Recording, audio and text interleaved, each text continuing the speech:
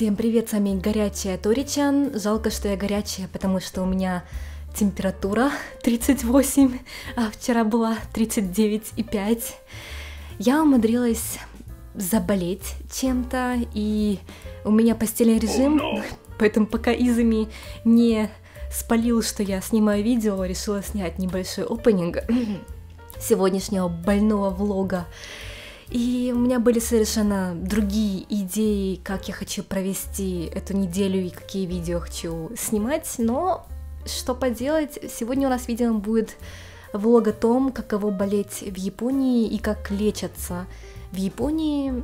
Не всегда быть влогу о прекрасной жизни у моря и вкусной еде, но это тоже часть реальности и жизни за границей, как в других странах лечат, особенностях лечения и так далее.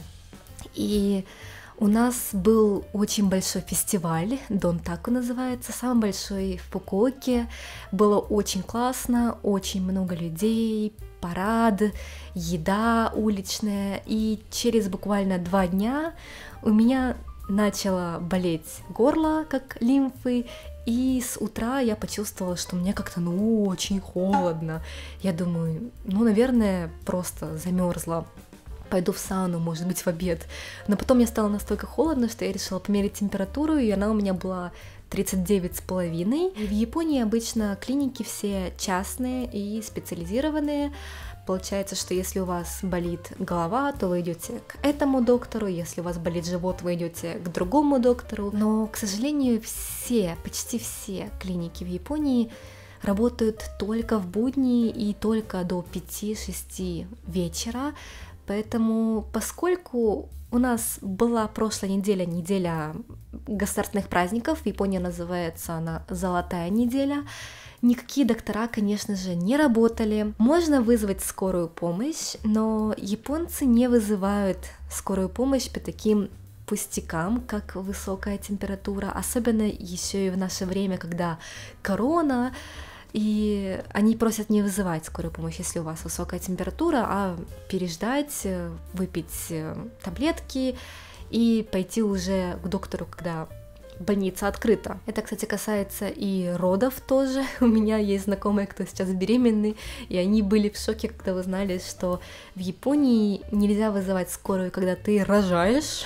То есть, если ты рожаешь, то тебе нужно или на такси добираться, и есть специальные такси для беременных. Водитель, он знает, как оказывать первую помощь, если вдруг что, и там все сидушки, они как пластиком обделаны, чтобы, если вдруг что, не запачкать такси, или предлагают просто на транспорте общественном добраться до больницы, если у вас нет своей машины или возможности вызвать такси. Но поскольку у меня была температура под 40 и я очень большой паникер, я решила воспользоваться приложением, про которое я слышала недавно от знакомых. Это не реклама, но это совет для тех, кто, как и я, паникер, живущий в Японии. Есть приложение, называется Fast Doctor, где можно вызвать врача на дом. О, счастье, что в Японии такое приложение появилось последние несколько лет, потому что можно вызвать врача на дом в будни после шести вечера и до утра, то есть ночью, если вдруг стало плохо, или в выходные дни. Меня лихорадило, но к нам на дом приехала очень приятная женщина, молодая, врач, именно врач, потому что только врач, не медсестра в Японии могут выписывать лекарства, и здесь нельзя купить какие-то лекарства которые именно действуют эффективно без рецепта. То есть в аптеке можно купить самые элементарные лекарства от головной боли или если живот болит, но они все очень слабые. И даже я слышала, что многим иностранцам таких лекарств не хватает. На них оно слабо действует, потому что доза очень маленькая в японских лекарствах. Если ты заболел чем-то серьезным, как э, грипп или ангина и так далее, то антибиотики и какие-то сильные обезболивающие, сильные жаропонижающие, все только по рецепту. Врач приехала, одела специальные, как знаете, во время короны были эти как комбинезоны, э, перчатки, маски, две, шапочка, то есть полное у нее снаряжение. Она сделала мне несколько тестов, проверила мою температуру, которая была 39,5, давление немного было повышенное, также кислород в крови.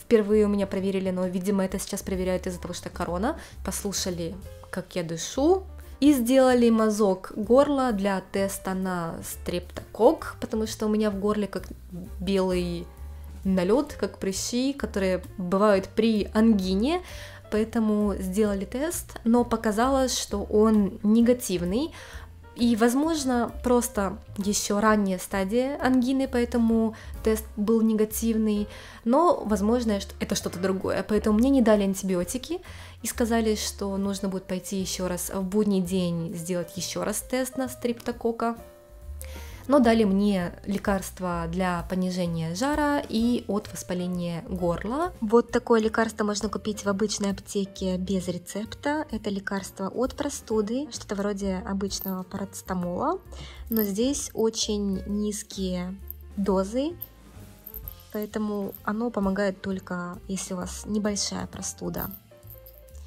Это мне дал выездной врач. Это трансамин. И я почитала в интернете, что это лекарство от кровотечения, и его дают часто при, родах, после родов, и даже когда сильные месячные. Но в Японии также его дают, когда у вас есть воспаление в горле. Поэтому мне его дали от ангины. И, кстати, его изобрели в Японии в 1962 году, что довольно интересно. А вот это, это ацетоаминофен. Ацетоаминофен 500 миллиграмм. Это лекарство от жара. То, что можете купить в аптеке, в принципе, это то же самое, только здесь в одной таблетке 100 миллиграмм, поэтому в пять раз слабее одна таблетка. Если, конечно, этим наглотаться, то будет примерно одинаковый эффект, но вот главное отличие того, что дает врач и что можно купить в аптеке, это именно сила лекарства. В принципе, лекарства это тоже можно купить в обычной аптеке. Но антибиотики только врач может дать по рецепту. Мы приехали в клинику, чтобы сделать еще раз тест, но нам сказали, что нельзя войти с обычного входа, нужно пройти вот сюда, задний вход, для тех, у кого есть температура. Вот в такой небольшой комнате осматривают людей, у кого есть температура. Здесь же делают тест на коронавирус. Мне тоже его сделали, и знаете, какой результат? У меня не ангина, а корона впервые за три года. Изами тоже пришел в клинику провериться раз это корона. У Изами результат теста был негативный, но кто знает, как будет дальше. Мы вернулись из клиники. Насчет стоимости лечения в Японии, осмотр у врача, тест на корону, тест на ангину. У меня стоил 4000 йен, а Изами 3000 йен, это 7000 йен на двоих, это в районе 52 долларов на двоих. А вчерашний вызов врача на дом нам стоил 10 тысяч йен, это где-то 74 доллара, поэтому получается, что вызывать врача на дом в два раза дороже, чем идти в клинику все же, даже с учетом страховки. И также мне прописали абсолютно те же лекарства, что и вчера мне прописал врач, который приехал на дом, поэтому ничего нового я не покупала из лекарств, только то, что вчера мне выдали. И интересно то, что обращения в японских клиниках мне нравятся все очень вежливые, и в Фукуоке тоже очень все вежливые, приветливые, но все же чувствуется, что немного здесь не привыкшие к иностранцам, и иногда такие, э, получаются, интересные разговоры. Допустим, вчера, как только врач зашла в нашу комнату, она посмотрела на меня, посмотрела на Юзами и такая homestay. Типа, она подумала, что я турист, приехавший в Японию. У нее не было даже мысли о том, что мы пара. Но это не только потому, что я иностранка, скорее всего, а потому что также мы вызывали врача на мою фамилию, а у меня фамилия моя девичья. И она звучит на японском языке как Терноборска. То есть, ну, сразу понятно, что иностранка. А но при этом у нас на адресе написана фамилия Изуми, японская фамилия, поэтому, возможно, она из-за этого подумала, что мы не пара. потому что у нас разные фамилии, то, что она подумала, что я приехала сюда как хомстей, это было очень, конечно, забавно. И также в клинике, куда мы пошли сегодня в обед, тоже, конечно, спросили, говорите ли вы на японском языке, понятное дело, и порадовались, как хорошо я говорю на японском языке, а когда Изами пришел тоже сделать тест, они у него спросили, а, а вы муж, а вы иностранец тоже? А, японец, окей. Типа для них тоже то, что мы пара, и то, что мы пара он японец, я иностранка, это видно для них еще такое прямо не при... новое. Они сразу подумали, что раз я иностранка, то и он тоже иностранец. А, но кроме этого, все лапочки очень вежливо обращаются, очень все понятно объясняют, поэтому все шикарно. Поскольку чувствую себя не очень, а у Изми работы нет особо времени готовить, мы решили перебиться вот такой вот едой для экстренных случаев. Это рис с водорослями. Обычно это для экстренных случаев, когда, допустим, землетрясение или что-то другое произошло и нет еды, потому что этот рис может храниться годами, не портившись. Но у нас много такого дома, поэтому мы иногда в таких случаях используем это. И в Японии обычно едят рисовую кашу, когда болеют, потому что считают, что она хорошо усваивается. Заливаем кипятком и вот так вот 15 минут даем настояться супер реалистичный влог. Вот что мы едим, когда больные. Вот такая получилась рисовая каша с водорослями, как видите, на вид обычный рис. Попробуем. На вкус примерно такой, какой оно, какой оно на вид. Не могу сказать, что очень вкусно, но нормально подойдет. Вчера с вечера Изами также приготовила вот такой вот яичный пудинг. Это довольно в Японии популярное лакомство. И я была с такой высокой температурой, что я тогда даже не поняла, зачем он с вечера готовит пудинг. И сейчас, когда мне уже полегче, я понимаю, что, а, наверное, он приготовил его, потому что это довольно легкий способ калорий получить, когда ты не можешь есть, когда ты себя плохо чувствуешь. Это вкусная еда, и также ее легко есть тем, у кого болит горло, как у меня. Поэтому я очень не люблю показывать, конечно, эмоции, обнимашки, поцелуйчики и так далее на камеру, но я прямо, прям почувствовала такую романтику. Приятно, когда тебе так заботятся и бедный он, что я так поздно это поняла, конечно.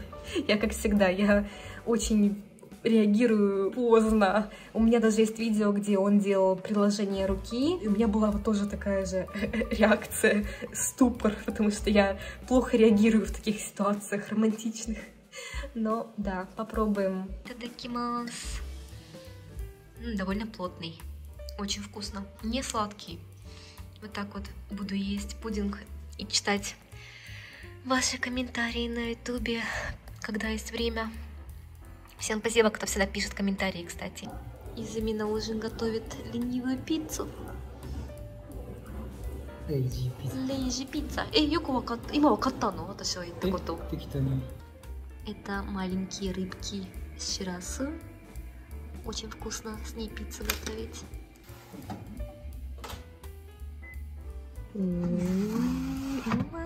О, и не. Будем ужинать и дальше отдыхать, пытаться восстановиться. Бангаха, аригато не. Хорошо, что я не потеряла чувство вкуса и запах. Наоборот, даже хочется больше есть. Всем большое спасибо за просмотр. Видимся еще, когда я выздоровлю.